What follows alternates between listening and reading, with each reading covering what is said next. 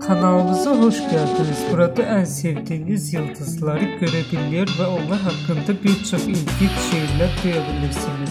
Dikkatinize Park Shin-hye ve Tae-jun'u sunuyoruz.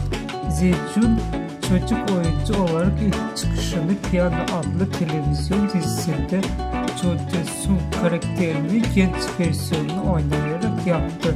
7 Mart 2018'de Hawaii Portesi Jae-jun'un 2017'nin sonunda beri aktris Shin-hye ile ilişkisi olduğunu doğruladı.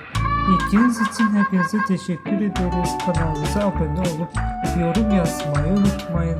Herkese iyi seyirler.